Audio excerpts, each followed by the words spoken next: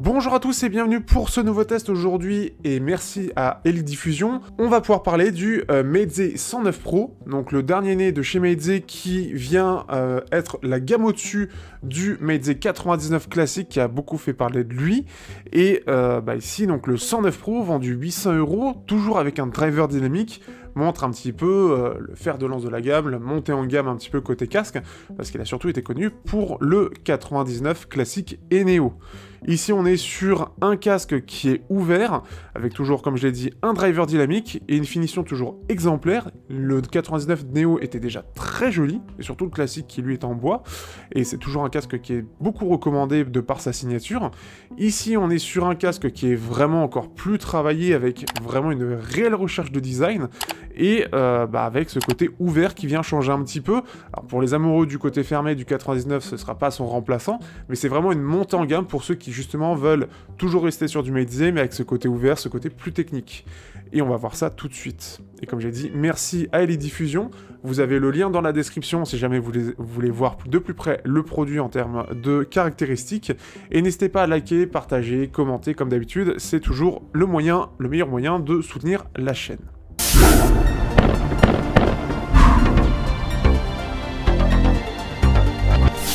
Au niveau du design, on est donc sur un casque de très grande qualité qui est cette fois-ci ouvert et toujours avec un design de vraiment très recherché où on sent qu'il y a vraiment cette envie d'avoir ce côté très luxe, très classe euh, au niveau de, ce que fait euh, Meize. Alors déjà le 99 classique avait déjà cette tendance un peu classe, un peu recherché, un peu raffiné. Ici on est vraiment sur quelque chose de vraiment de, de toute beauté. C'est-à-dire que là, sur cette étagère, ça ferait quand même très très bien. mais ce qui fait qu'on a vraiment cette recherche d'un design vraiment particulier, vraiment à part, qui se démarque de la concurrence, et qui est vraiment ce côté très... Voilà, ce côté classe, et ça se ressent vraiment. On a toujours cet arceau qui était visible déjà sur donc les euh, Meize 99, c'est gardé ici. Ce qui est assez intéressant, c'est qu'on va voir donc la marque Meize avec ce lien sur les deux arceaux euh, qui ne touche pas le casque en fait. Alors ça le touche un petit peu aussi forcément, mais ce qui fait qu'il n'y a pas de lien direct. Et je trouve que c'est une recherche toute simple, mais on dirait presque que c'est euh, donc fixé avec les écouteurs, mais ce n'est pas du tout le cas. Ça a un effet très particulier, encore une fois ça fait très raffiné, très élégant. Euh, et j'apprécie vraiment. On a les vis qui sont visibles, mais je trouve que ça fait partie du design. Alors ça pourrait être, s'il n'y avait pas ces vis, ça pourrait être encore plus beau, mais euh, encore une fois, on peut pas tout avoir, mais il y a vraiment cette grande recherche. On a toujours donc bien évidemment cette bande, donc c'est euh, d'ailleurs en fait on a un intérieur hein, une petite bande en fait qui va selon la tête tout simplement on le, pose sur soi, ça va s'adapter tout de suite. Donc pareil, c'est très bien fait, c'est très simple. Et ce qui est bien, c'est que euh, la bande euh, de maintien de tête est très large, ce qui fait qu'on peut l'avoir euh, sur nous pendant très longtemps. Autre chose de sympathique qui va changer la plupart des planaires, c'est surtout que bah, il n'est pas très lourd. Hein. Il doit faire 400 grammes à peu près. Je n'ai pas vraiment le grammage en soi, mais ce qui fait qu'on est très loin de certains à 600 grammes qui sont très lourds. Et donc déjà, il est relativement léger avec un, un appui-tête qui est vraiment très large, ce qui permet vraiment de ne pas le ressentir réellement, même sur de longues sessions. Donc c'est vraiment une bonne chose. On a des coussinets qui doivent être en Alcantara, j'imagine. Après, encore une fois, j'ai pas toutes les caractéristiques, mais qui est euh, pareil, c'est très doux, c'est très agréable. Euh, la mémoire de forme à l'intérieur est vraiment très agréable aussi. Pareil, quand il se pose sur la tête, on le ressent très peu, c'est vraiment agréable. Ce que j'apprécie particulièrement, c'est de voir le driver ici. Vous allez voir des plans, euh, le driver qui est complètement visible, juste avec une petite grille de protection avec le petit logo Meize. Alors là, c'est la, petite touche, mais on voit entièrement le driver, on voit la qualité du driver, et je trouve que bah, là-dessus, c'est pas forcément le cas sur beaucoup de casques où ça se voit pas beaucoup. Ici, on le voit complètement, c'est complètement clair, je trouve que ça donne vraiment un cachet parce qu'on a le driver qui est complètement transparent avec juste cette grille qui est recherchée, qui est travaillée, et ça a un vrai effet. On a cette grille de protection sur le côté avec alors cette petite touche pour nous faire le lien entre l'arceau et l'écouteur qui je trouve est toujours très joli qu'on avait déjà sur le 99 et on a ce côté euh, donc cette grille. Par contre on ne voit pas le driver ou très peu de l'autre côté. On le voit très peu sur les plans. On le voit un petit peu avec la lumière ici mais sinon c'est pas le cas. Tout ça connecté par du jack euh, donc euh, ici si je pas de bêtises le câble est là du jack 3.5 de chaque côté et un jack 3.5 pour terminer.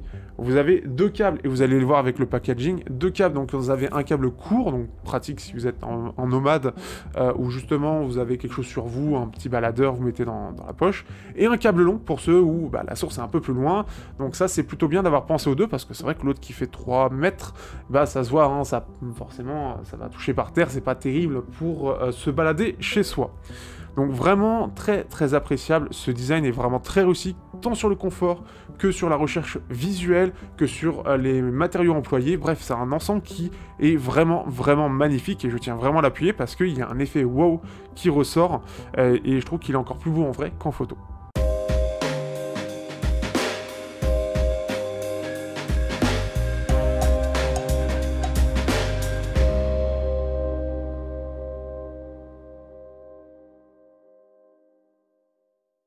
Au niveau de la qualité sonore, on se retrouve donc avec un driver dynamique, je vous mets les caractéristiques juste ici avec notamment les courbes de fréquence.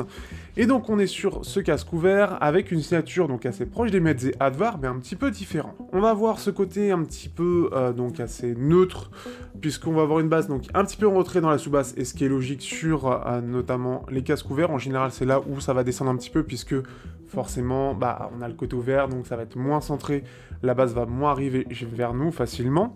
Une basse assez neutre avec des médiums assez neutres, des aigus très légèrement retrait et un pic de clarté qui est présent et qui va se ressentir. Globalement, on a un son qui est assez détaillé avec une bonne basse qui je trouve est pas vraiment très présente. Donc pareil, ceux qui sont fans de basse, ce sera pas forcément euh, ce qui sera à privilégier. Il y en a d'autres qui le font bien mieux là-dessus en ouvert.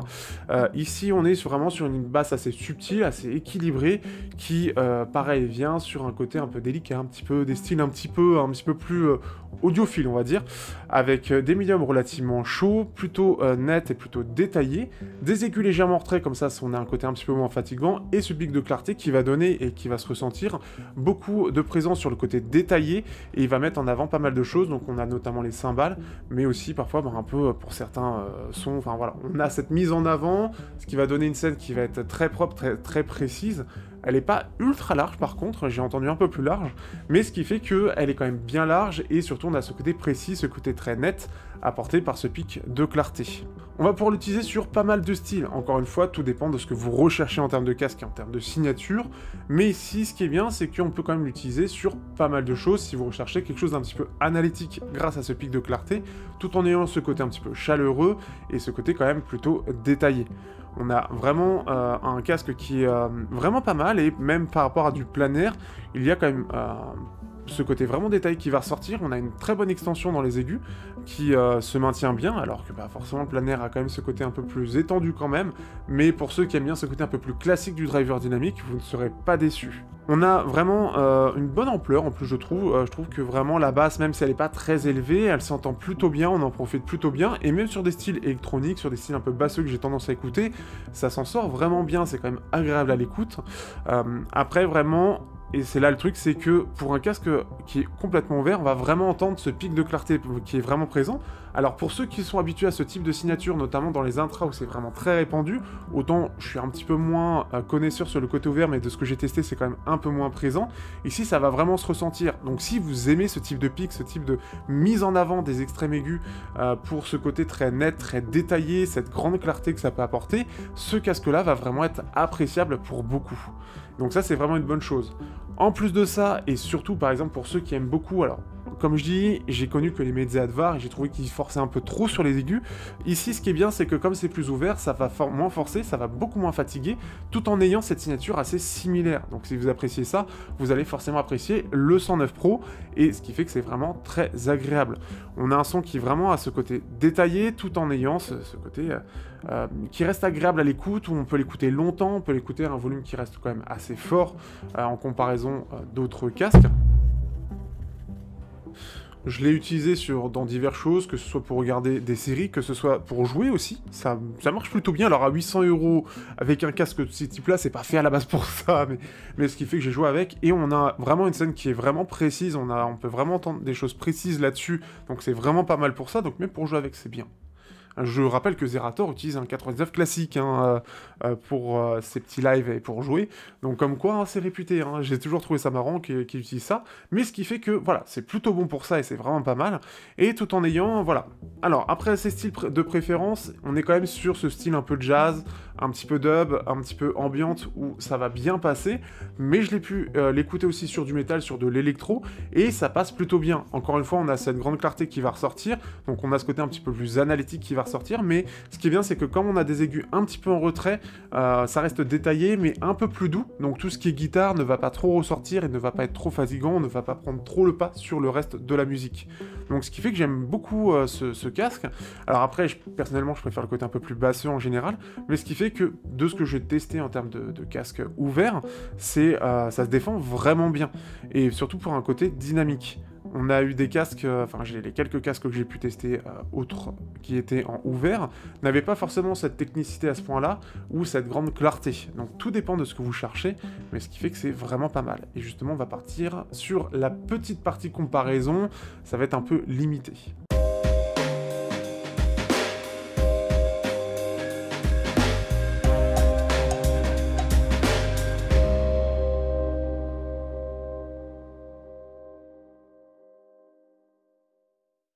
Je vais comparer notamment à un casque, le euh, Ifiman Deva Pro, que j'ai toujours, et c'est un petit peu cette petite chance qui me permet de le comparer, qui est un casque donc planaire, vendu environ 350 euros, et euh, qui est, alors déjà en termes de finition, ça n'a strictement rien à voir, puisque bah, c'est, ce Deva Pro, c'est vraiment le design au minimum, hein, le curseur est mis au minimum, et on a ce driver planaire qui est plutôt bon, qui est un petit peu plus ample, et c'est en général ce qui est préférable, enfin en tout cas préféré qu'on prend un driver planaire. Et globalement, on va avoir une signature un peu différente, puisqu'on a plus une signature descendante avec un petit pic de clarté. Euh, donc on est sur quelque chose d'un vraiment, euh, ce qui fait que ça va se ressentir, puisqu'on va avoir une basse qui est plus profonde et qui est aussi un peu plus élevée, donc forcément on a un côté un peu plus fun. Des médiums qui sont quand même plus chauds, mais on a globalement, euh, voilà, quand on a ce côté descendant, c'est un peu plus sombre, on n'a pas cette grande clarté, ce côté très fin, ce côté très détaillé que propose le Meze 109 Pro. On a un pic de brillance qui lui est plus léger, ce qui fait que forcément bah, tout ce qui est cymbale ou tout ce qui est instrument qui va taper dans cette partie-là va moins ressortir. Donc ce qui fait qu'on a un côté un peu plus doux, mais c'est aussi moins détaillé. Par contre, on a, et ça c'est certain, pas du tout de sibilance. Là où sur certains morceaux pour le mezze, ou si on mettait un peu trop fort, certaines voix peuvent un peu accrocher, peuvent avoir ce côté légèrement sibilant. Et par contre, bah, ça sonne un peu plus creux alors qu'on a plus de basse, mais parce qu'elle est coupée plus fortement du côté euh, du Hi-Fi-Man, ce qui fait que ça sonne un côté un peu plus creux, un peu moins naturel. Euh, par contre, le fait qu'on ait une meilleure extension dans les aigus parce que c'est du planaire et que c'est mieux drivé là-dessus, on a euh, une scène qui est un peu plus large, ce qui fait que c'est moins mis en avant, notamment sur ce côté clarté de la scène, mais on a ce côté plus large. On va avoir surtout ça, on a le HE400SE, alors lui qui lui, bah en fait, bah clairement, il va avoir un effet plus mou, il est un peu plus basseux avec un peu plus de clarté, notamment alors le HE400 SE, il est vendu moins cher, il est à 150 euros, c'est du driver planaire aussi, et la finition, elle est encore en dessous, donc on est vraiment sur pas du tout la même chose, et ce qui fait que bah, on a une signature un petit peu plus en fait, donc un peu plus de basse, ce qui fait que c'est un peu plus fun, un peu plus d'aigus, mais par contre des voix qui sont plus en retrait, on a quelque chose un peu plus mou, c'est pas très dynamique, c'est beaucoup plus chiant, euh, c'est pas très détaillé en comparaison, et encore une fois c'est logique, 150 hein, euros versus 800, ça fait pas le poids. Je peux vous donner légèrement de tête le Sivga SV0, euh, enfin le Sivga SV23 S23, je n'ai plus en tête. Bref, le dernier qui est sorti, euh, qui est environ à peu près au même prix à 500-600 euros, et ce qui fait que, de souvenir, encore une fois, on avait quelque chose d'un peu plus linéaire, un peu plus plat, ce qui fait que ça se ressentait sur des styles justement un peu métal, ça passait un peu moins bien. Je pense que le 109 Pro passe un petit peu mieux avec un peu plus de clarté par contre. Le côté détaillé, je pense qu'ils sont à peu près équivalents par contre, euh, ce qui fait qu'on a un côté légèrement plus chaud, encore une fois de souvenir, donc c'est vraiment pas fiable, sur le 109 Pro donc ça reste des choix différents, mais s'il y a vraiment un concurrent, je pense que c'est ce Sivga là, le Sivga SV023, et j'ai peur de me tromper, mais c'est celui-là que j'avais testé il y a quelques temps. Donc ce qui fait que c'est pour moi son plus grand concurrent, et si pareil, et je vais encore faire de tête, le HD 650 de Sennheiser, ah non, le HD 660S de Sennheiser, lui il était clairement pas très technique, tout était aussi orienté médium, c'était très chaleureux, mais on n'avait pas une basse très profonde, on avait des aigus qui étaient beaucoup moins étendus, c'était pas super détaillé, mais c'était très doux à l'oreille très bien pour des longues sessions. Donc on n'avait clairement pas cette clarté du 109 Pro euh, de Meize. Après, il est vendu à environ 400 euros, donc c'est pas du tout les mêmes budgets. Mais ce qui fait que le 109 Pro, bah, en tout cas pour moi, il se débrouille plutôt bien en comparaison de la concurrence. Euh, il a quelque chose à proposer et c'est surtout cette grande clarté. Je sais pas si c'est très développé dans les casques ouverts, hein, ce côté, cette mise en avant des extrêmes, parce que autant c'est très développé sur le côté, euh, justement, bah, c'est très chinois, hein, c'est devenu très chinois, mais beaucoup aujourd'hui l'utilisent globalement dans les acteurs hein, audiophiles et notamment intra. Dans le côté ouvert, de ce que j'ai vu jusqu'à maintenant, c'est que c'était pas forcément très mis en avant. Au contraire, c'était un peu plus équilibré, sans de mise en avant extrême de ces aigus. Donc pour ceux justement qui recherchent ce côté un peu plus détaillé dans cette partie-là, ce côté un petit peu plus clair, ça peut plaire, euh, ça peut être quelque chose de recherché, ça donne cet effet plus détaillé aussi. Donc ça, c'est quelque chose qui peut être appréciable et euh, qui va donner plus de présence aux voix, plus de netteté, plus de finesse. Et ça, ça peut être vraiment quelque chose que certains plaisent, enfin certains peuvent apprécier. Je suis fatigué. Euh, mais le côté jazz, par exemple, tous ces styles un peu, un petit peu euh, doux, justement, on veut du détail, on veut de la clarté, on veut de la netteté, ça peut être vraiment euh, ce type de casque du coup qui peut faire plaisir.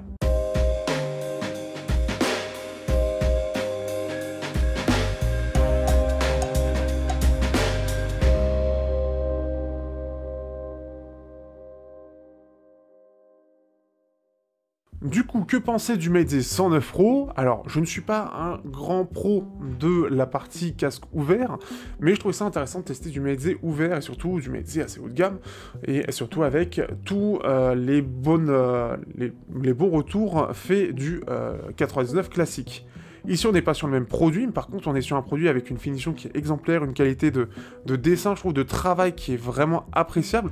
On a vraiment ce design qui est vraiment, je trouve, recherché. On a quelque chose qui fait solide, hein, vraiment en main. Par contre, euh, en plus, il y a ça aussi. C'est-à-dire que ça fait solide, ça fait très joli. On sent qu'il y a eu un vrai travail pour avoir cette élégance et euh, qui fait que bah, pour 800 euros, voilà.